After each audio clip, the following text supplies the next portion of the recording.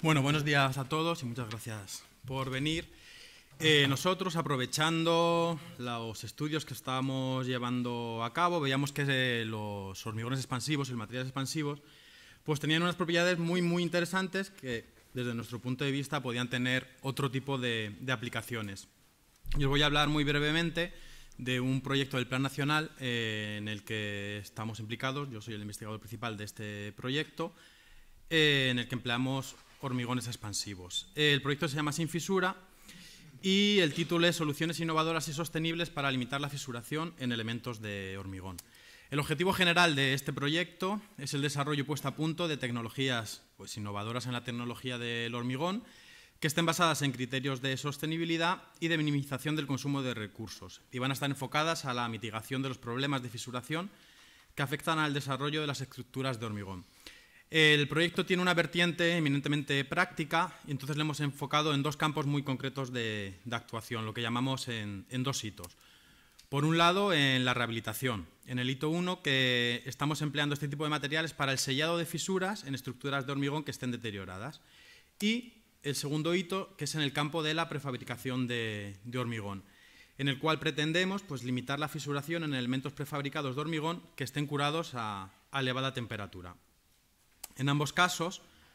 eh, lo que estamos haciendo es emplear agentes expansivos K y G, que como os ha comentado mi compañero David, son los tipos de agentes expansivos con los que nosotros hayamos trabajado hasta, hasta ese momento. Os voy a hablar muy, muy brevemente de lo que hacemos en cada uno de los hitos. En el primero de ellos, que es el sellado de fisuras en estructuras de hormigón existentes, normalmente con una reparación convencional, pues inyectamos el sellante en la fisura y puede ocurrir que por eh, una, retracción diferencial entre el sellante y la matriz de hormigón en la cual se ubica ese sellante, finalmente vuelva a aparecer la fisura. No tiene por qué, pero es uno de los problemas que, sí que ocurre bastantes veces. Por lo tanto, nosotros planteamos emplear materiales expansivos para el sellado de estas fisuras. Obviamente, la tipología de material expansivo que vayamos a emplear eh, va a depender del tamaño de fisura con el cual nos, encontremos. Y los principales objetivos y actividades que llevamos a cabo dentro de esta actividad, pues el fundamental es evitar problemas de retracción, como he dicho, diferencial entre el material sellante y la matriz de hormigón. Lo que estamos buscando es obviamente una estanqueidad para que no penetren agentes expansivos dentro de la matriz de hormigón o que no puedan llegar alarmado y que nos dé problemas, pero también estamos buscando recuperación mecánicas, eh, recuperación de propiedades mecánicas y, a ser posible, de que el comportamiento mecánico tras el sellado pues, sea eh, al menos igual al que teníamos antes de, la aparición de la fisura. El tipo de material que vamos a emplear, el tipo de material expansivo, va a ser tanto función del tamaño de la fisura, como he dicho antes, pero también de la matriz de hormigón en la cual se ubique, porque estamos buscando la máxima compatibilidad posible entre el sellante y la matriz de hormigón. Estamos probando distintos tratamientos de inyección y además, lo que es muy importante, tratamientos de preacondicionamiento antes de ese sellado y cuáles son las condiciones post-fisuración más adecuadas para que el sellado sea lo más eficaz posible. Aprovechando estos estudios, pues estamos analizando cuáles son los mecanismos microestructurales que están implicados en la generación de esta expansión, porque como veréis en las demás ponencias no están todavía del todo claros, y obviamente pues vamos a analizar la durabilidad de las soluciones desarrolladas. En el otro gran hito del proyecto, en el de los prefabricados con curados a, elevada temperatura, la problemática que surge en ocasiones es que en este tipo de curados el hormigón necesita unas elevadas prestaciones mecánicas iniciales, ya sea por el propio ciclo que se lleva, en el cual pues, eh, se tiene que voltear la pieza eh, tras pocas horas desde su fabricación o por otro tipo de,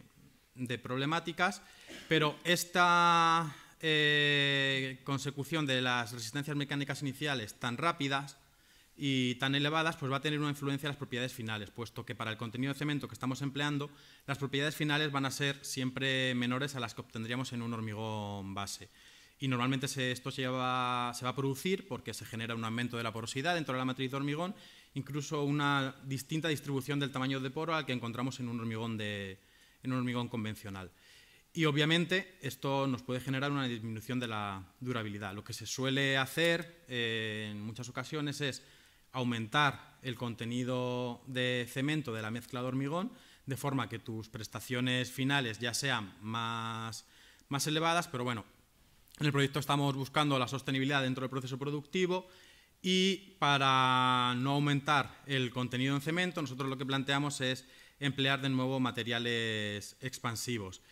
en los cuales a igualdad de contenido en cemento, incluso con una matriz de hormigón con menor contenido de cemento, obtengamos las mismas prestaciones mecánicas iniciales y además unas prestaciones finales a 28 días pues superiores a las que obtendríamos en este tipo de agentes. Obviamente, la tipología del hormigón que vayamos a emplear nos va a depender fundamentalmente del ciclo de curado que se esté llevando a cabo en, la industria. el breve resumen de este ITU, eh, como he dicho, el objetivo fundamental es incrementar las propiedades mecánicas finales disminuyendo el contenido en cemento, de manera que estemos hablando pues, de una mejora de la sostenibilidad dentro del proceso productivo y nos va a influir mucho la composición y tipología del hormigón fabricado. Nos va a influir el tipo de cemento que estemos empleando, nos va a influir el tipo de aditivos químicos, como ha dicho mi compañero David, pero además también nos va a influir el, tipo de, curado acelerado que estemos llevando a cabo. Eh, y sobre todo la temperatura máxima de curado a la que se genere ese hormigón.